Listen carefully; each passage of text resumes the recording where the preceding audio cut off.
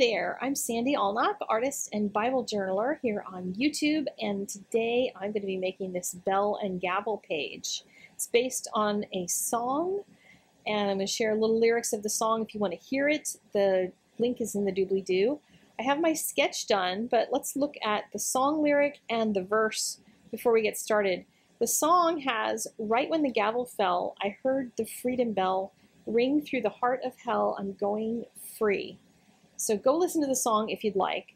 The verse is, But now that you have been set free from sin and have become slaves of God, the benefit you reap leads to holiness, and the result is eternal life. For the wages of sin is death, but the gift of God is eternal life in Christ Jesus our Lord. And this is from Romans.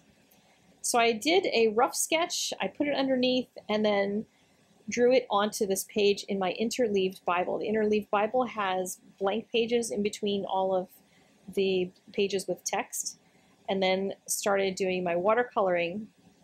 And I thought, while I do the watercoloring, I'll tell you a little bit of, of the story behind why I wanted to do this one. I was in church recently, and I wept through the worship portion of the service. I just, I could not stop crying, and it was not a bad cry. It was a grateful cry. I was just struck by these lyrics of this song. When the gavel fell, I heard the Liberty Bell, and I was just thinking about when when a judge smacks that gavel, uh, so many people hear you're guilty, and I know I'm guilty. I, I'm a sinner. But to hear the Liberty Bell, to hear that freedom bell instead at that very moment is so powerful. What imagery is that? That that's just astounding to me. So I went and researched Liberty Bells and looking at different bell shapes and kept sketching on tracing paper until I got the shape of the bell that I wanted. I wanted the, the look from down underneath and I wanted the words to be printed on the bell because on the a bunch of the different pictures of bells, it had words that were kind of embossed into them and then have the gavel in the background. I wasn't sure what I was going to do around the bell on the outside at the time when I started it, but I wanted to just communicate that that gavel there and the feeling that I had because even if nobody else makes any sense of this page that I'm doing, if I see the gavel and the bell together, I'm going to know exactly what I meant.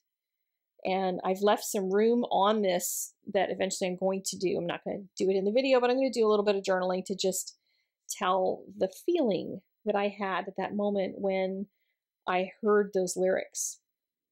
Because that song was really powerful to me. So, song lyrics are one way that you can get some imagery for a Bible journaling page. Sometimes you don't get the image from the verse itself, but just knowing that the wages of sin is death, the wages of what I have done for that, I deserve eternal death. But through Jesus, I have eternal life. That is amazing that, that God is that way with us. That no matter what we deserve, He gives us that, that freedom. So I did the first layer of my watercolor and then I used a hot iron and put a piece of paper over it so it would be would keep it clean. That's mostly why I put the paper over it. I don't want to get the paint smooshed around by the hot iron. And I decided I was going to put kind of a brownish, bluish, kind of weird color in the background here. I painted something else recently and I had a, you know, a really kind of dark blue-brown sort of color. And it's very ominous. And I thought it would be really helpful in a situation like this because I wanted that feeling that in the background that that gavel is surrounded by dark muddy colors angry colors colors of condemnation but the bright bell that appears in the front the, the bright strong colors of that will be in stark contrast to the rest of it so the bell is going to be swinging forward and and celebrating that life that I have instead, which I don't deserve, but I have it. And hallelujah for that, right? I knew I was going to add some outlines and things with a black pen when I'm done. And often I do that. You may have noticed in a few of my videos that I start by painting using my pencil lines and then I add my my black and white lines later if I'm going to add some some pen lines and things. it gives me the freedom to sort of figure out what I'm going to do. And especially right here, I wanted the gavel to look like it was smashing down. It was hitting the surface of the table, so I kind of made those lines. It looked kind of funky, didn't like it, and I thought, well, what if I blend in some red to make it, you know, look really icky back there? And then that started looking really weird. But, you know, that's just the way how it is. On Bible paper, fortunately, it's slick paper. It's not like watercolor paper. Watercolor paper may not be as forgiving as this because I can take that baby wipe and it's a barely damp baby wipe and I can pull a lot of color out of this and smush color around and stuff. Even after it's dry, you can move watercolor with a baby wipe quite easily. So if you have some areas that didn't work out, you can remove some color and fix some of that. And so I'm constantly adjusting as I'm painting and adjusting my edges, adjusting the shape of the bell or the curve around something. So if I save my pen lines for later, it allows me to sort of establish all that using my brush, my watercolor first, and then tighten it up once I get to the very end. And I wanted to have some really rich dark color you have to be a little bit careful on Bible paper when you get rich dark color because it can kind of build up and feel a little bit chalky pretty quickly if you don't end up um, kind of blending it in a little bit. I have a few spots on this where I had to pull a little bit of color out because I got a little bit too thick, too chalky and weird. Uh, it still doesn't bleed through the back. There was only, I think, two brands of watercolor that I found that bleed through so watercolor is pretty safe uh, for not bleeding through the page. And that was Peerless watercolor. And then there was a Crayola, a specific kind of Crayola. I don't remember which one, but I was very surprised to find that these cheap Crayolas went right through my paper as well. But for the most part, watercolors are pretty safe to use on, on your Bible paper. I don't use any page prep, as I've said before. I'll mention more times because I get lots of questions about it. Page prep to me is just more work, more effort, etc. And as you can see, I'm doing just fine painting away, and I I'm not having a whole lot of ma massive issues with wrinkling or anything. I've used page prep on some things, and I still end up with wrinkling and curling. So I'm not really sure, other than using mediums that bleed, um, for me, that it's really not all that much helpful. I'd rather just focus on the mediums that do work well and not try to make my Bible work with mediums that don't work with it. Because I'm plenty happy with my pencils, my watercolor pencils, and my watercolors in order to create what I want to in my Bible. So now I can take out that page underneath. I always keep, uh, well, shouldn't say always, I usually keep a piece of copier paper underneath of what I'm working on, not because I'm trying to keep anything from the next page since things don't bleed, but it helps if I go over the edge a little bit that I don't drip down the side of my Bible.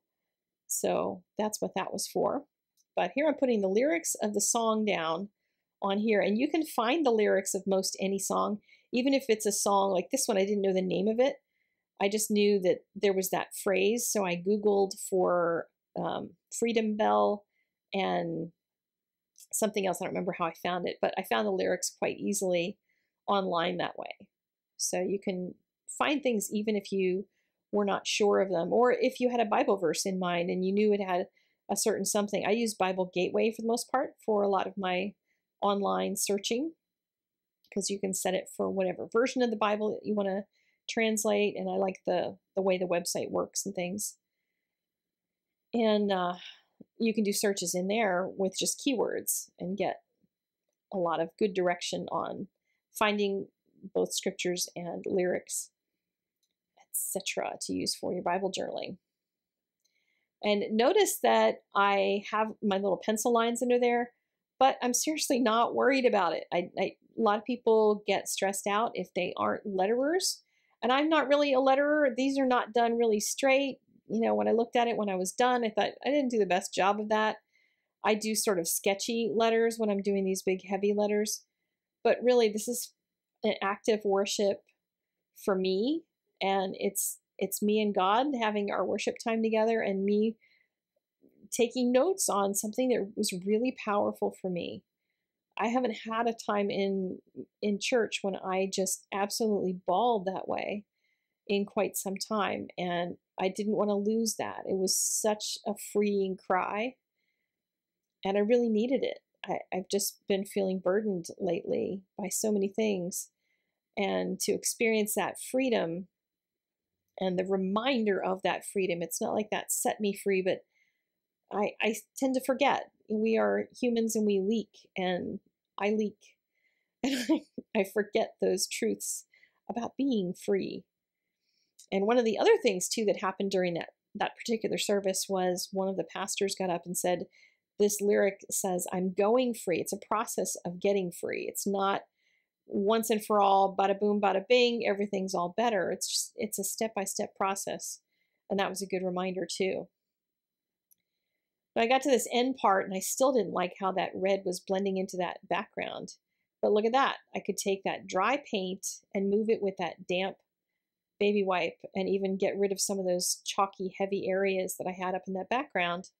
Move that around even after it was dry which I really like that about watercolor. So give a little bit more intensity to some of the shadows now on my bell. A few of the areas that got a little wishy-washy over time and for the most part, if you put a background in like this one, I have this rich dark color in the background, it's going to make everything else in front of it, all the lighter colors that looked like they had a lot of contrast before, it's going to make them look like they they weren't as contrasty so you'll often uh, do better to wait until the end and then add a little more, little bit more contrast if needed as you finish up your piece. And that's usually my finishing touches is to be able to do that kind of a thing. And by the way, I am using Daniel Smith paints. They are um, all linked in the doobly-doo down below, the description area. And I want to give you a heads up. I believe next week depending on when you're watching this, I'm going to be doing a whole gift series here on this Bible journaling channel with Christian themed gifts and decorations. So be sure to take a a little time to subscribe to my channel so that you can come back and get lots more ideas. The holidays are coming, and I wanted to share some things that I'm going to be making this holiday season for friends and family, etc., for gifts and for decor, and would like to invite you to do the same. Thank you so much for taking a few minutes to watch this video, and I will see you again in a week. Take care. Bye-bye.